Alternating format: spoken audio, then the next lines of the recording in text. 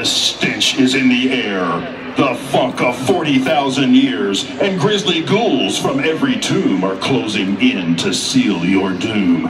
And though you fight to stay alive, your body starts to shiver. For no mere mortal can resist the evil of the thriller.